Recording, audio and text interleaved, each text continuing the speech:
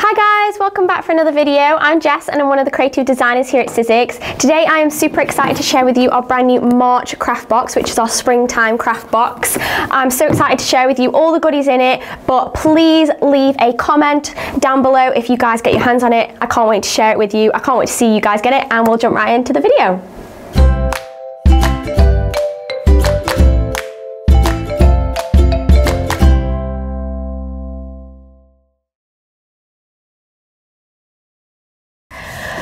So with this springtime craft box, obviously if you know by now with these craft boxes, they all come in these amazing cardboard boxes with all of that gorgeous illustration on side, or on the outside, sorry, and then on the inside you have the same thing, but it's with that mint.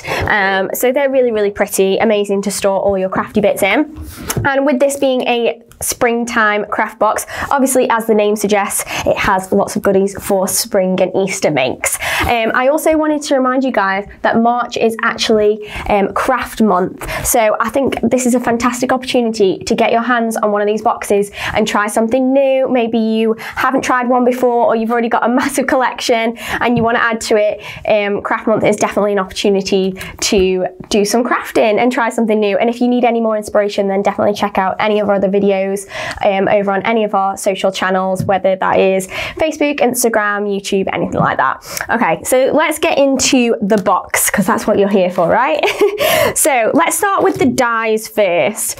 So obviously with it being springtime, Easter themed, we've got this one here. This one is Spring Has Sprung. I really hope you can see that. So this one has some really gorgeous um, Easter themed bits. So we've got like our Easter eggs, we've got a bunny, um, a little duck or a goose maybe, um, and there's loads of things like a little chick, and these are really nice layered pieces, and I'm going to show you some makes with these ones um, as we go through, because obviously this is one of the main dies. This is a Chapter 1 2022 brand new die, so if you haven't got your hands on that one from that release, then it's definitely worth checking out in the box. And then we've got this one, which is lace labels. This one is really, really pretty and it's great for backgrounds. Um, and this one has several different circles that you can cut and then you can lay it on top of them. Um, you can add those different elements from the Spring Has Sprung die on top of them. And it's a really nice intricate floral design with that section in the middle. So if I just take one of them off. So you've obviously got all of that space there that is in the center to work with. And then you've got that amazing pattern on the outside. So those ones are really, really pretty pretty. I love those two dies. They work really, really nicely together. And then with the Spring Has Sprung die, so like I was showing you before, you have that uh, Easter egg or egg shape, it works perfectly with our egg domes. So that is why we've included our egg domes in there because they work perfectly with that die and it slots really nicely inside. And I'm not sure, you get six in there. So um, you've got loads to keep making your Easter cards or your Easter decorations um, and you're not going to run out anytime soon. And they're really, really fun to kind of add a little bit of excitement and 3D element to your crafting in your cards. Obviously, we can't have a shaker dome without sequins. so we've got our sequins and beads in mint julep. I love these. They're such a gorgeous tone. Obviously, they match that sort of background of those Sizzix boxes. Mint julep is kind of our colour that you'll see a lot of in our branding. And I love the way that these um, these sequins and beads are stacked and stored because you can just pop them all inside the stack. I haven't actually opened this one. I'm going to open it so I can show you some inside because you get five different kinds of sequins and beads in here, all within that mint julep colour family. And then they all stack inside. So literally just take them out and then you can just twist off your top. If you're stronger than me, then you'd have no problem doing that. They're all individually sealed, that's why. that's why I can't take them off. So you can use these for loads of different things, for adding little accents around all of your cards. Um, they're really nice for flower centres, I find, if you don't want to die cut little circles. Some of these sequins and beads are really nice for those kind of things, and obviously inside of your egg dome as well. So there's several different kinds in there. We've got hearts, stars, uh, faceted ones, beads, pretty much everything that you need sequin and bead wise, we've got you covered there.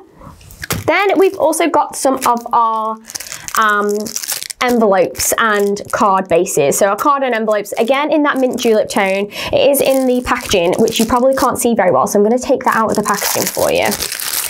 And just so you can see, the colour is gorgeous on these. I love these. They're A6 cards, really nice, sturdy card bases. And then you obviously get your envelopes to go with it. So you get 10 of each. So 10 envelopes and 10 cards, and they all match perfectly. And you can use these as your, obviously as your card bases and you can build up everything on top of those. So that's a really nice thing to have and obviously all matches within that colour story. Then we've got some of our adhesive sheets. I cannot live with my, my adhesive sheets. I am constantly running out of these. They are a godsend for um, any intricate dies. So you just pop these on the back of your cardstock and then run it through your machine and die cut it. And then it means that you're not faffing around with putting tiny little bits of glue on tiny little die cuts or anything like that. It's already got that sticky back on there and it just saves so much mess and time. I love, love, love these and they're an essential, I think, for if you're a experienced crafter or if you're just starting out, they will save you so much time and hassle. So they're fantastic to have in that box. Um, and then moving on to the card stock. Okay, so we like to put in a few sheets of our sort of core textured cardstock. So I believe there's 10 sheets here. I'm going to fan them out so you can see the colour tones a little bit better. And I'm going to do a terrible job of trying to fan these out for you. Pete always seems to do it so smoothly and it takes me a good while to get them off. okay, so we've got all of those gorgeous colours, perfect for Easter and springtime. Really nice bright tones, any pastel shades. So I'll just run you through the colours. So we've got sorbet, that mint julep that we've had in those um, those cards and envelopes. Uh, cherry blossom, I believe that one is. Oh, you probably can't see these. I'm doing a terrible job. I'm gonna get rid of those. There you go. Then underneath we've got limoncello, that really nice bright yellow color. Lush leaves, which is that rich green. Obviously perfect for foliage. Mango Tango, amazing for if you're making up any of those little chicks. Bluebell, Arctic Sky, a really nice base colour that one. Works amazingly with mint julep. Lavender dust and hibiscus. Okay, so there's an amazing range of coloured cardstock there and it's got that gorgeous linen texture on the front that um, everybody loves with our cardstock. Then we've also got some of our silver opulent cardstock. So there's 10 sheets in here of our silver opulent. I'm just getting rid of the packaging so you guys don't get a reflection. But you get 10 sheets and there's five different kind of textures or finishes of this cardstock. So you get two sheets of each finish um, and it's all of the silver. So we've got glitter, matte, uh, brush metal, mirror and pearl all in that silver tone and they're just amazing for adding a little bit of extra opulence and sparkle to your makes. And then I'm not going to take this one out of the package packaging because it is what it says on the tin, but it five sheets of plain white cardstock as well, which is amazing for just having a plain white background for anything, or particularly if you want to cut the bunny from white as well. It's really, really useful for this one. Okay, so that is everything in that box that you get. I'm going to show you a couple of makes, but just wanted to highlight that it is available on the Sizzix website at the moment. So definitely head on over and get your hands on it, guys. I feel like this one is going to go really quickly because of how well everything works together. It's so cohesive in this box and it's so, so easy to create projects without any sort of hassle or anything like that. Everything just kind of meshes together really, really nicely. So I just wanted to show you a couple of projects. So here we've got the egg dome in all its glory with those amazing sequins and beads. Um, and hopefully you can see how the Spring Has Sprung die, how you can layer them up and you can have the different colours peeking through underneath. And then we've even got some of the foliage sculpted there.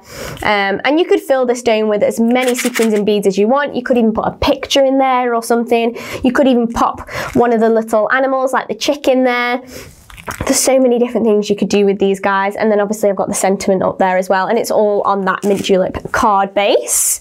Um, what else have we got? Another one for the um, egg shape, but not using the dome. So this is actually cut in with an aperture.